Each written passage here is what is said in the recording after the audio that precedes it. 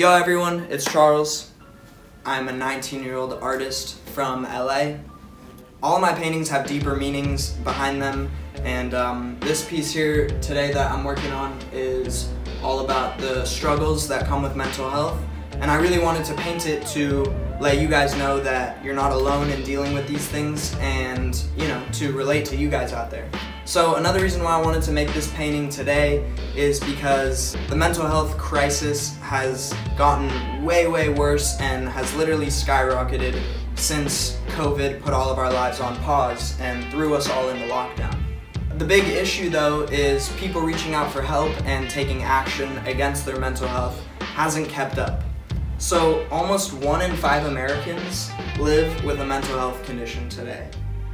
Also, right now in America, symptoms of depression are three times higher than before the pandemic. Another big one is mental health in kids is also getting a lot worse. Almost 10% of America's youth are reporting really bad depression.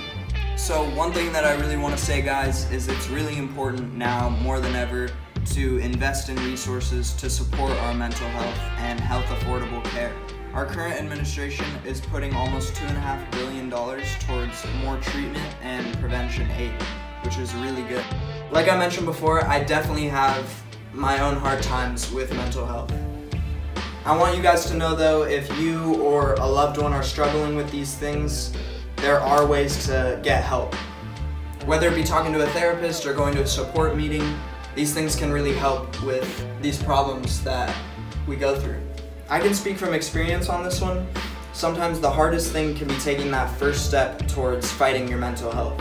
Talking for the first time to a therapist or walking into a support group for the first time, it can be super difficult. That's why in this video I really want to call out the importance of reaching out for help and you know taking action against your mental health and getting the mental health care that one needs.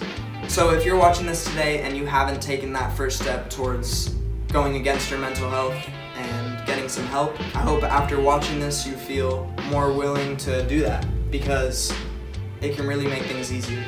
I really hope if you're watching this you enjoyed watching me paint this and uh, if you can relate to this painting that's super cool and I hope you got something out of this video. Follow all my social media down below, the links are in the description. I love you guys. Peace out.